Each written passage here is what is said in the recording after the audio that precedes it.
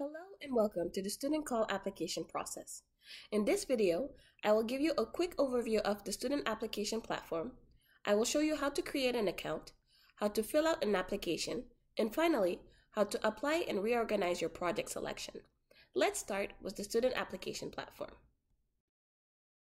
In the top right corner of the screen, you will find in the navigation bar the option to switch languages, either from French to English or from English to French. On the other side of the screen, at the top left corner, you will find four buttons that will help you navigate the platform. The first button is the Welcome button. In this section, you will find the information concerning the deadline, the general eligibility criteria of Mitacs, and the documents you will need to provide to submit your application.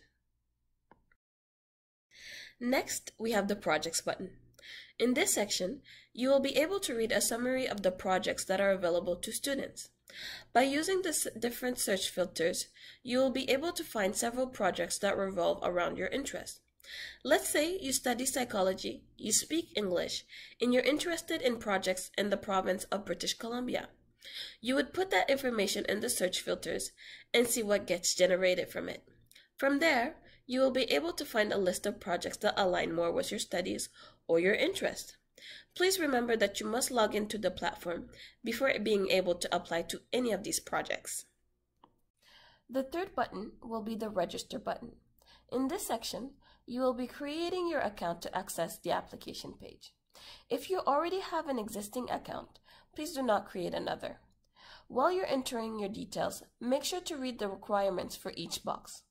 After you have submitted your information, a link will be sent out to the email that you have provided. That link is used to validate your account.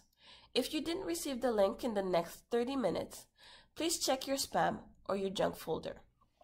The last button will be the Login button. As the name suggests, this section is to access your account and to start or continue your application.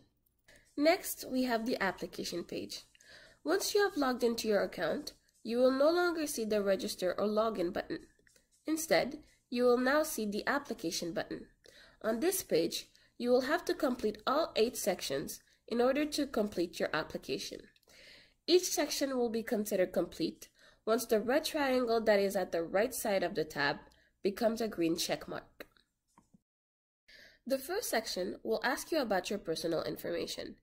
You will see general questions such as given name, surname, email address. You will also be asked about the country or region that you are enrolled in. Once selected, you will see a blue application box pop up. In that box, you will find additional requirements for your country. Make sure to read the information provided in that box carefully for additional eligibility criteria for your country.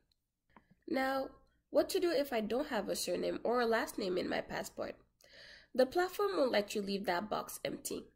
In that case, you can put a simple dot where your surname or last name would be.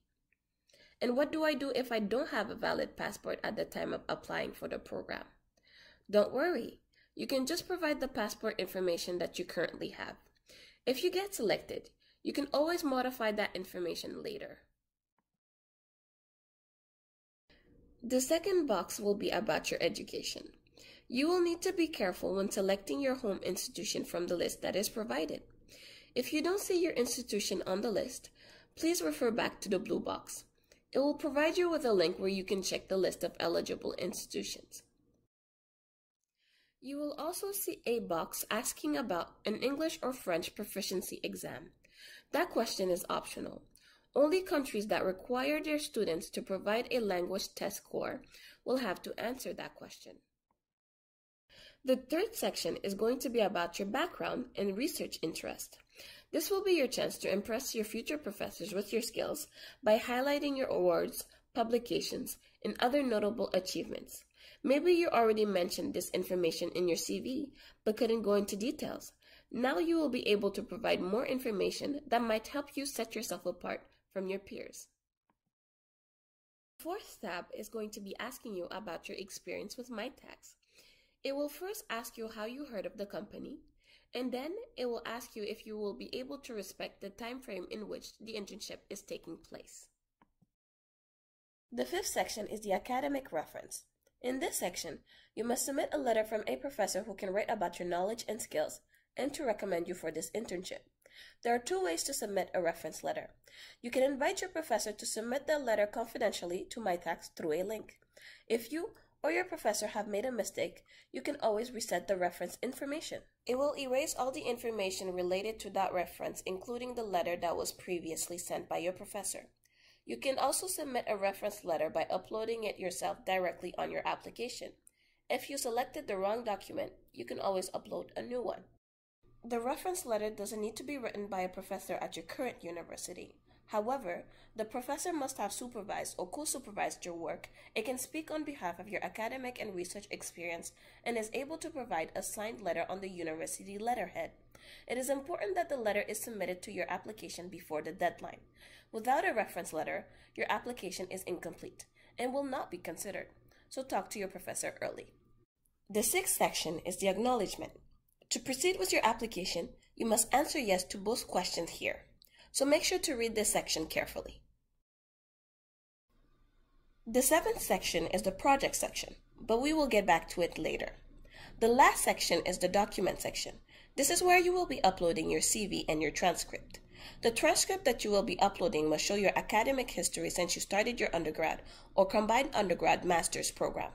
We would very much appreciate it if you could combine all your transcripts into one file.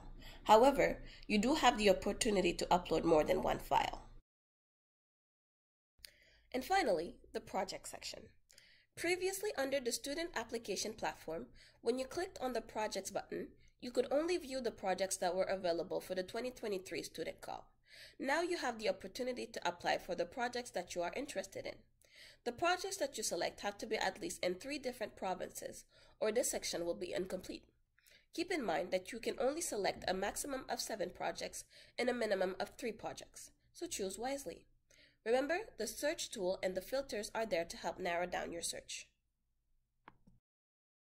You will find the projects that you have applied for in the project section of the application page. You can change the order of the projects by clicking on the blue arrows that indicate up and down. You can also take off projects that you are no longer interested in by clicking on the red cross. The first project on your list will be your most preferred. You can always change the list of projects or rearrange the order in which they are in. When you're done, always click on the blue button saying Confirm Project List Change to save your changes. Once you see a green check mark on all the tabs and a complete application status at the top of your screen, you have successfully completed your application. There is no submit button. As long as your application is marked as complete by the deadline, it will automatically be submitted. If you wish to complete your application another day, you can always save the information that is currently on the platform. You can do so by clicking on the blue Save button that is on the left side of the screen just above the Personal Information tab, as well as on the bottom of the screen at the end of the application form. By clicking on the question marks above the empty fields, you will see what information you will need to give in order to answer the question. The red writing at the bottom of a field isn't to indicate that information is missing, but to provide you with more clarification on how to answer the question. If the writing is in black and highlighted in red, it signifies that one of the answer boxes has been left blank. You will need to go back and give an answer. And that was an overview on how to apply for the Globalink Research Internship Student Call. Please review the Student Application tab on the Globalink Research Internship webpage and answers to the frequently asked questions on our FAQ page if you have any questions.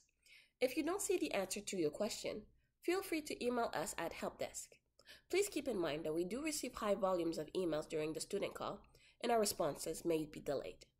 Thank you for watching, and good luck with your application.